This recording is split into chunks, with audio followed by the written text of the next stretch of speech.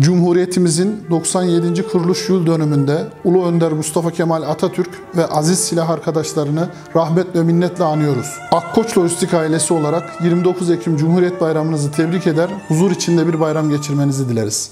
Bir başkadır benim memleketim